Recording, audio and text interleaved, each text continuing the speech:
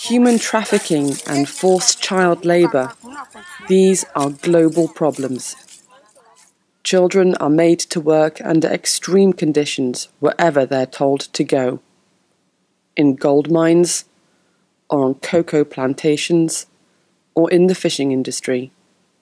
Some of these children are as young as five years old. Les enfants, ils sont fragiles. Les enfants, il faut les protéger parce que la Convention des Nations Unies relative aux droits des enfants les protège normalement.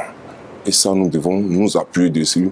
Nous devons travailler dans ce sens pour que l'enfant retrouve vraiment toute sa quiétude, tous ses droits fondamentaux doivent être respectés partout où il se trouve.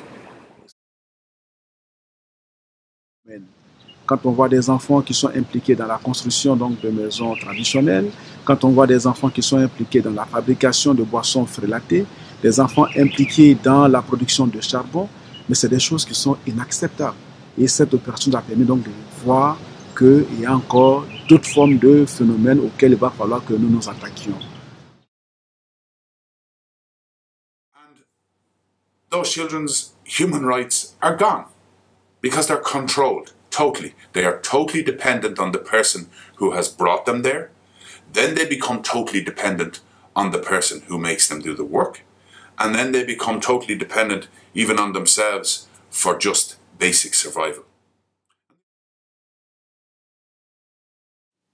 It is only through partnerships that we can tackle this form of modern day slavery. No one country or organisation can address these problems alone.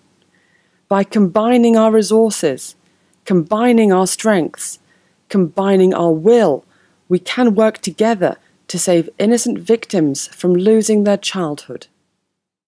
This was why in June 2015, Interpol launched Project Akoma to unite efforts across West Africa to combat child labour. Euh, je pense que c'est un projet euh, novateur, novateur dans le sens de la collaboration inédite entre Interpol et OIM et même avec les partenaires gouvernementaux, les ONG, etc. Donc je pense que cette approche euh, holistique, cette approche intégrée là, donnera les résultats escomptés. It was through this united effort involving the government, health workers, the IOM, and law enforcement that 48 children were rescued and 22 people arrested, sending a strong message to the traffickers. That if you traffic these children in, there will be a police response. And from that, you get prevention, and from that, you get protection, and from that, you can see very clear partnership. How can you play a role in helping to stop child labour? How can you help protect the next generation?